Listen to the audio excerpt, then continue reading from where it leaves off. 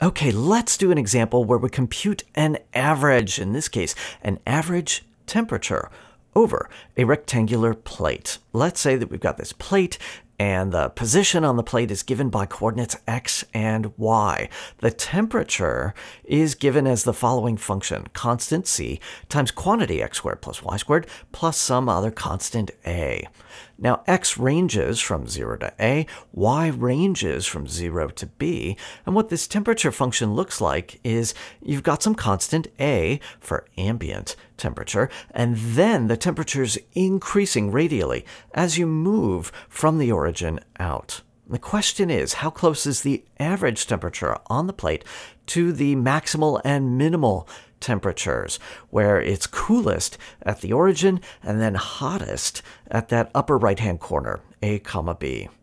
Now, the first thing that we're going to do is compute the average value of t. t bar is given as the integral of t over this rectangle with respect to area divided by the integral of 1 over that same domain. Now we're going to write this as double integrals with respect to x and y. x going from 0 to a, y going from 0 to b. Now that bottom integral, well that's really simple. That's just the area of the rectangle. That's a times b.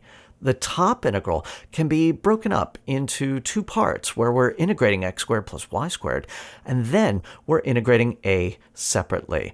That second integral, well, that's easy. I just get a after canceling out. And then the first integral, oh, integrating x squared plus y squared, that's not so bad. I get c over ab times quantity x cubed y plus xy cubed, all that over 3.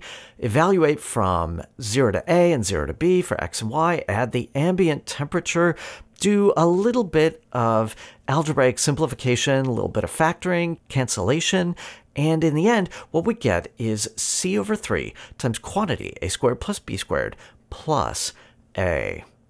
Okay, that's the answer that we get. That's not so bad. That's our average temperature. But the question is, how close is this average to the max and the min? Well, the max temperature is clearly happening at the upper right-hand corner. AB, and that maximal temperature value is C times quantity, A squared plus B squared, plus the ambient temperature A. Likewise, the minimal temperature is happening at the origin at the lower left-hand corner, and that is simply A, since x and y are zero. So to summarize what we've found, the average temperature on that plate T bar is one third of the way in between the minimal and the maximal temperature, and it's it's closest to the minimal temperature. That's a simple example of an average function over a very simple two-dimensional domain.